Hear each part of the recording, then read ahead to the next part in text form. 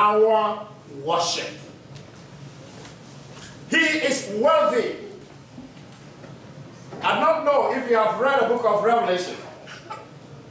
And John gives us a story.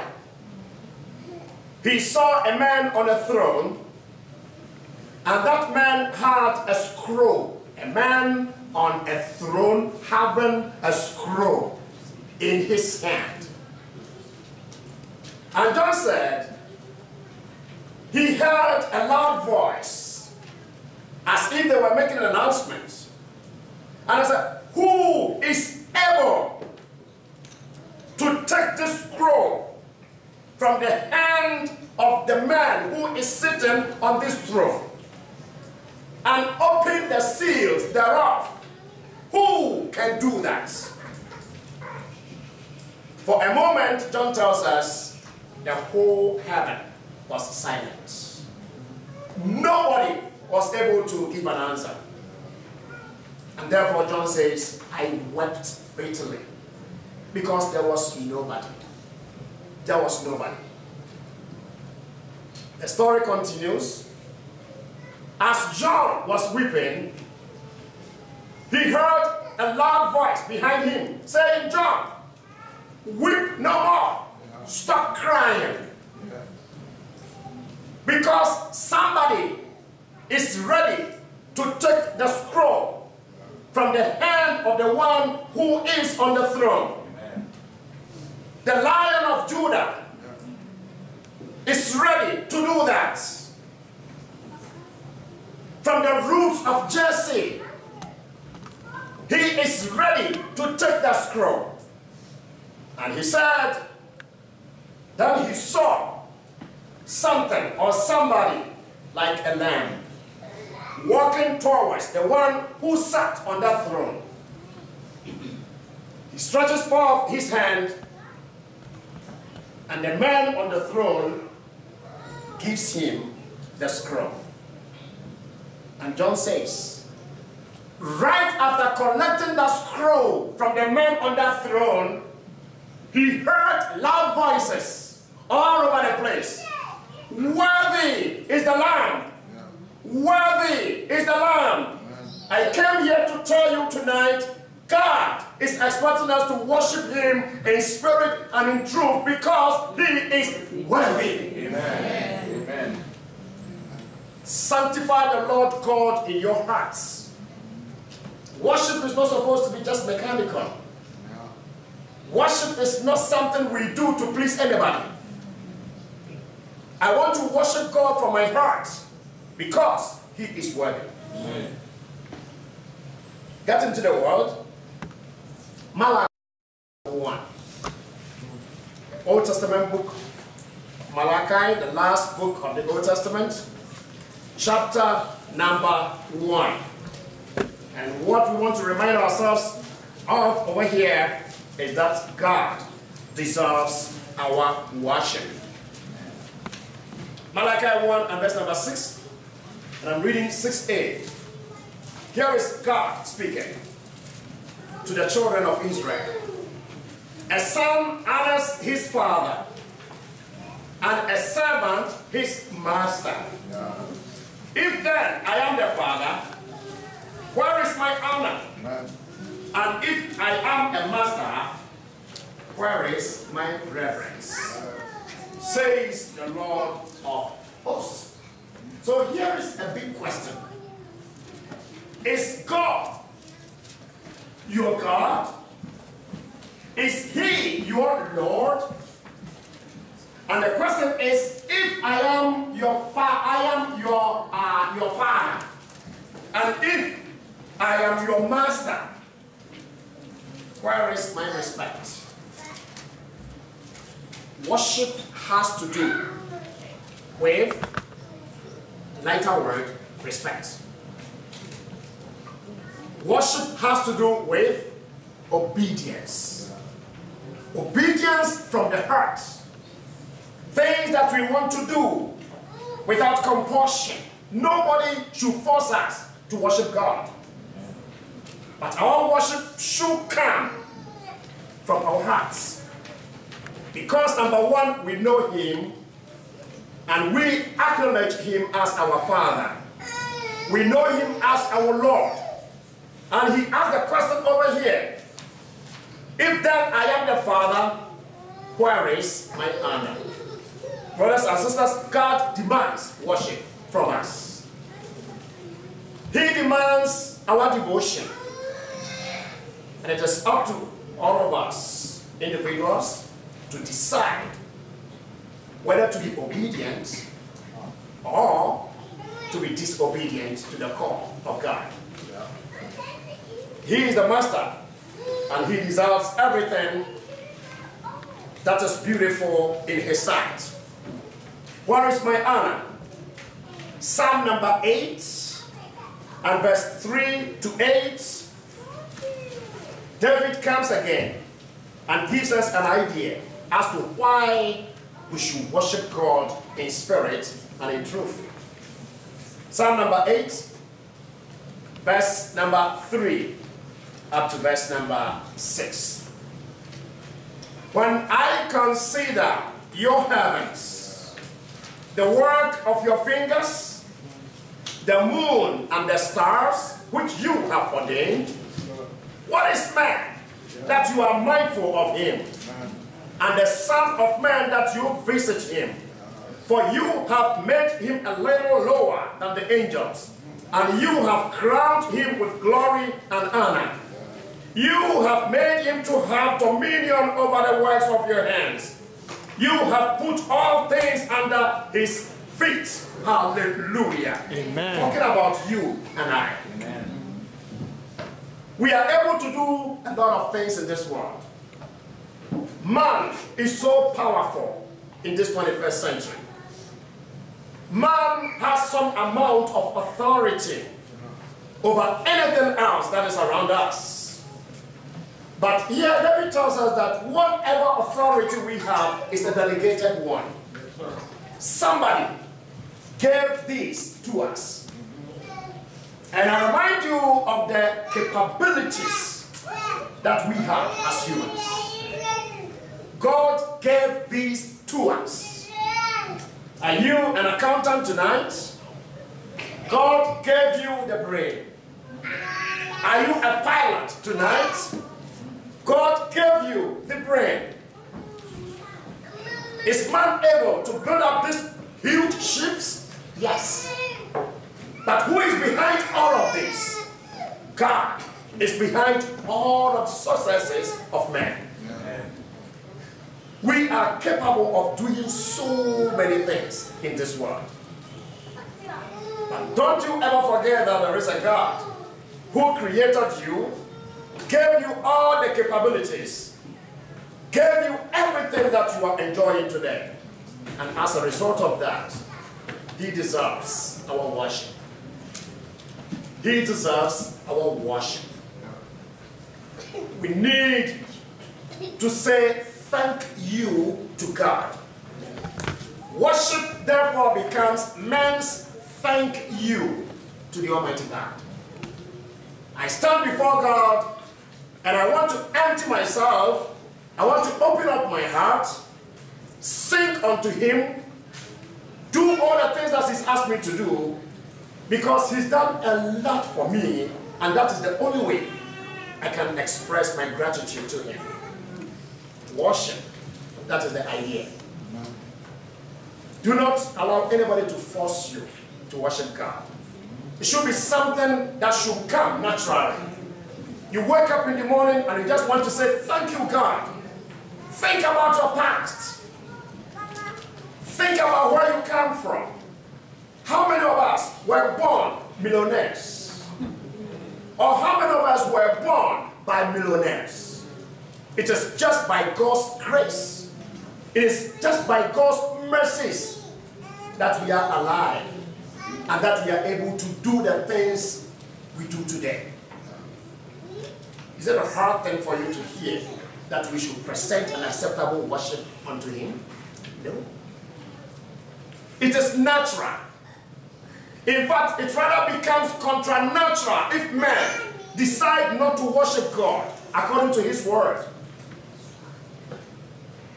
God exists. He deserves our worship. And we need to do the things that He has asked us to do, not the things we want to do. You want to worship God? That is good. But there is something that we need to remember that if we refuse in this 21st century, if we refuse to worship God, we are denying ourselves the needed spiritual strength that God bestows upon those who are faithful to Him. Since creation, man has been incurably religious. If you choose not to be religious, that is your trouble. You go ahead and read all those books. Let us talk about the Big Bang. Let them deny everything about creation and call that scholarship. That is your trouble. God exists. He created us. He's given us capabilities. He gave us all these. You cannot tell me it just happened. I mean, look at the absurdity involved in the Big Bang Theory. In the beginning, there was something, something like, and the lecturer and the professor will be trying to describe that thing to you, and will be doing this. That there was something. What is something? What is the meaning of something? It was something like, like, like, like an egg. It was like an egg. And then millions and millions of years evolved, and uh, you know, this thing changed into an ape-like something. This is what we have in our books. That is all that man can do. At the end of the day, they tell you there was a big bang. Boom! And this balloon bursted. And something came out of it. It was an ape-like something. Millions and millions of years evolved. And that ape was also evolving, transforming into different things. And that is who we are. That is all that the universities can take us to. When I believe in this, and I teach people, the government pays me, and I'm the big man. There was no creation, but there was the Big Bang. Genesis 1 and verse 1 will raise its beautiful head and say, In the beginning, God created. In the beginning, God created. Ask the scientist, when did the beginning begin? I need an answer to that. When did the beginning begin? Who wrote that book? Darwin? No. God exists. And we don't only have to just quote Bible passages, but try some points, and then uh, do some shoddy work on worship, and that's it. No. And I know, as churches of Christ, I know what we're expecting. When we just read John chapter 4 and say, oh yeah, worship you must worship me in spirit and in truth. The Lord's Supper. It shouldn't be the introduction. It shouldn't be the beginning of the thing. The beginning should be faith. Are you having a relationship with God? Do you know him? Somebody wrote a song. Do you know my Jesus? He is not my Jesus. He is our Jesus. And all of us must know him. And once you get to know him better, you will want to worship him better. Amen. So tonight, let us go home, fortify our faith, pray a lot to the Lord, ask him to increase our faith. That is the shortest prayer I've ever read about in the New Testament. Luke 17 and verse 5. And the apostles of Christ asked him by saying, Lord, increase our faith. With increased faith, you can do a lot of things for your God. With increased faith, there are so many things God can empower you to do. And that, of course, includes how to worship Him in a more acceptable manner, how to worship Him in a spiritual manner. Well, man is incurably religious. And therefore, in your Holy Scriptures, Genesis chapter 8 and verse number 20, after the floods, when Noah and his descendants got out of the ark, the Bible says Noah offered sacrifice unto God. Since time immemorial, man has been religious. We must be religious. We must be people who believe in a God who created everything in this world. Nobody asked Noah to do that, but he did it. And you read further, and the Bible says God was so much pleased with the sacrifice of Noah. He was so much pleased to the extent that he changed his mind. He smelled the aroma from the sacrifice, the burnt offering from Noah, and the Bible said God felt so sorry that he had destroyed man like that. Oh, so man has two sides. None of us is 100% sinful. And none of us is 100% righteous. That sinful man can turn into a righteous man and vice versa. We can do the right things. We just have to get the right information I get the right disposition. We can do a lot of things to glorify our God. Because of sin, God destroyed the then world. And because of righteousness, he said, I will no longer destroy this world with floods. Behold, I am creating the rainbow. And whenever you see the rainbow, remember that I have sworn to myself and by myself that I will never destroy this world with floods any longer. Why? Because Noah decided to make a sacrifice unto God.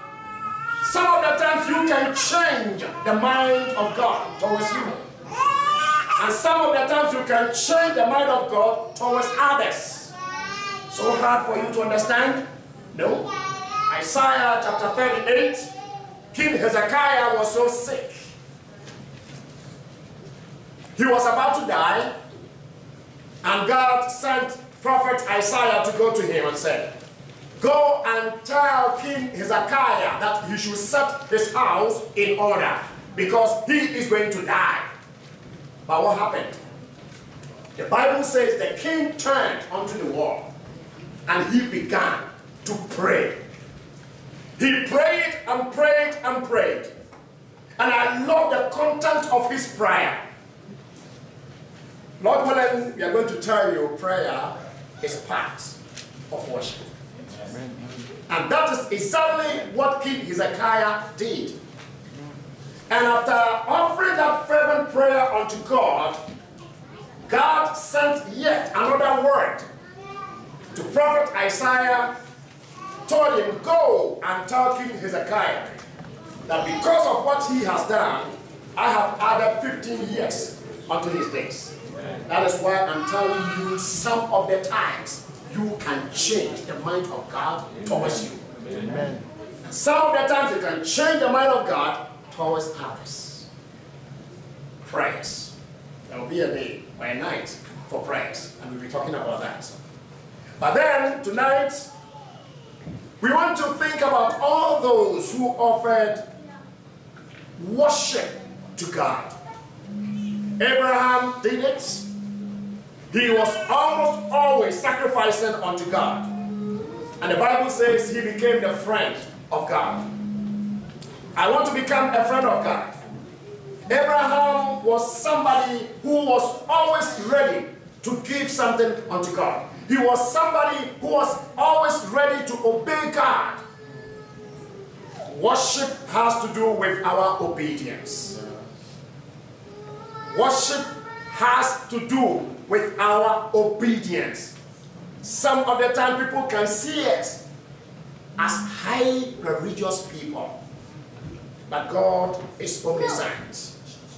God knows we are hypocrites. People see us going to church almost all the time. Is it bad? No. Attending church services is part of it. So it's not bad in itself. But how does God see you as an individual? Does he see you the same way people see you? Does he see you the same way you talk to people about yourself? I'm a Christian. I believe in God. That is verbal. That is what you have said. But how does God see you? Worship. The children of Israel were supposed to worship God in Exodus chapter 9 and verse number 20. You write it down and read it. God sent Moses to Pharaoh and said, I just want you to let my people go and worship me. Pharaoh, let my people go and worship me in the wilderness. God wants us to worship him. If we do not worship him, it will not take anything away from him. But when we worship him, we benefit. Amen. He blesses us. And so when he asks us to worship him, in a way he's saying, I want to bless you. Amen. To come for some blessings. So Pharaoh, let my people go so that they can worship me in the wilderness. That is what God told the, uh, Pharaoh, the king of Egypt. I would like to read this one from the New Testament, Acts chapter 17. Acts chapter 17. And I want to read from verse number 22 to verse number 28. Acts 17, 22 to 28. Listen to this reading. Then Paul stood in the midst of the Areopagus and said, Men of Athens, I perceive that in all things you are very religious. For as I was passing through and considering the objects of your worship, I even found an altar with this inscription, To the unknown God. It is so interesting when our friends who claim to be atheists continue to enjoy themselves by saying, well, we don't believe in your God. And I keep telling you, he is not my God. He is our God. I don't believe in God. By professing, by telling me that you don't believe in God, that statement itself tells me you believe in God. Yes. I don't believe in God. If you don't believe in God, how do you mention God? And you know, this happened in Greece, where in the olden days, philosophy was the thing of the day. Almost everybody wanted to become a philosopher in Greece.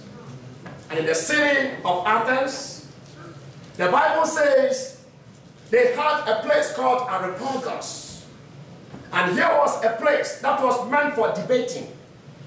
People would meet over there either to tell strange stories or to hear strange stories.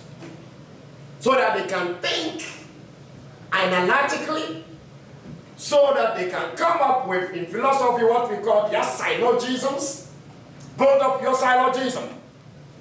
You don't make sense. When the philosopher tells you or a lawyer tells you you don't make sense, it doesn't mean you are not a wise person. But you are not speaking as you should legally. There are rules for everything we do in this world. And in building up your syllogism, if you want to make sense, they say you come up with what you call the major premise. Build up your major premise. Build it well. After building that, you build up your minor premise. build that one well too. And then you come up with a conclusion. If the major premise is wrong, the minor premise cannot be right. If the major premise is right, then chances are that you are going to be able to build up a good minor premise, uh-uh. thereby coming up with a conclusion. These are the things these people do at Areopagus almost all the time. Big, big English. They want to understand what is the meaning of that. When you say that, what should be the understanding? Okay, let us consider the punctuation marks of that statement. Let us try to go by the definition of that word. This is what these people were doing. And they thought they were on the top of the world. They were wiser than any other human being upon the face of this earth. And when Paul went there, you know what these people were doing? They had so many gods during the time. So this is for Diana, this is for this, this is for that, this is for that. And they have so many altars. And being philosophers, they thought that there will be a time that somebody might come and introduce a God to them that they never knew about. So why don't we erect one good altar here and write on it, this one is to the unknown God. So that whenever somebody comes in here and tells us there is a God somewhere that we've never heard of, we say, oh yes, this altar is for him. That is what we're talking about. So in their wisdom, that is what they were thinking of. And Paul being a lawyer, God choosing a